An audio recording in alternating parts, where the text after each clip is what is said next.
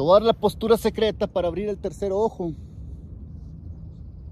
Mira, para abrir el tercer ojo, como dijo el indio Topirsin, nomás mira, las manos en triángulo, te entrelazas y luego, déjame pongo para acá, para acá. Entrelazas y abres los codos, más o menos como en un triángulo, y pones tu cabeza en medio y luego subes un pie y enseguida el otro y te caes, ¿verdad? y luego vuelves a intentarlo porque pues nunca has podido entonces lo intentas hasta que te salga levantas un pie y enseguida el otro. Y aquí te quedas y aquí te quedas concentrado en el tercer ojo. Y cuando acabes vamos a decir que si dura 5 o 10 minutos está bien puro tercer ojo pero cuando bajes vas a bajar te vas a quedar aquí un ratito en esta postura del conejo y después te vas a voltear y vas a hacer la postura de Viparita Karani aquí y aquí te quedas unos minutos también y luego ya bajas en postura del puentecito y aquí te quedas y luego ya descansas. Ah.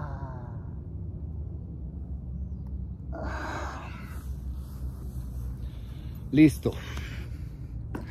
Esta postura del parado de cabeza tienes que hacerla pues al principio 5 minutos.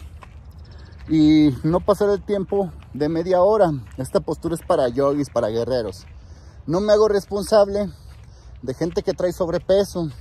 No me hago responsable de los karmas de la gente o de los chavos que practiquen esto y no tengan una preparación media ni sepan respirar ni nada porque hay mucha gente medio atrabancada, se les dice en el rancho atrabancado, que hace las cosas acá, ah, yo ya quiero abrir el tercer ojo. Bueno, yo no me hago responsable de ti.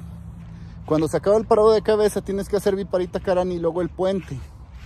Si duré 15 minutos en el parado de cabeza, pues tengo que hacer unos 10 minutos la de viparita carani y otros 5 la del puente.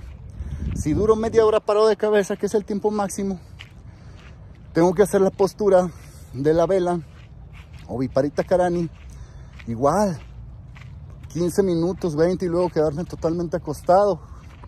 O sea, no nomás es hacer una postura, hay que hacer contraposturas para que vaya la irrigación sanguínea bajando. Pero te va a beneficiar mucho el cerebro de que le hagas un minutito dos, porque fumar mota también te seca las células cerebrales. ¿Y cuántas motas has fumado y cuánta irrigación sanguínea le has puesto a las células cerebrales? Nada. Pero esta postura es, vamos a decir, para gente que ya va en el nivel intermedio de guerreros. No es para gente común, ni gente que nunca ha practicado ejercicios de poder. Esta postura de abrir el tercer ojo, pues es muy beneficiosa. Lo que pasa es que hay que practicarla con el estómago vacío. Y una vez que acabas de hacer las posturas, te tienes que quedar si duraste media hora parado de cabeza, tienes que durar media hora, 40 minutos, hasta una hora acostado, porque es mucho. Es mucho flujo sanguíneo y te levantas y te vas a andar cayendo. Yo no puedo estar allí contigo asesorándote porque tengo entendido que tú ya tienes la inteligencia media como para saber si te corresponde o no hacer estas posturas.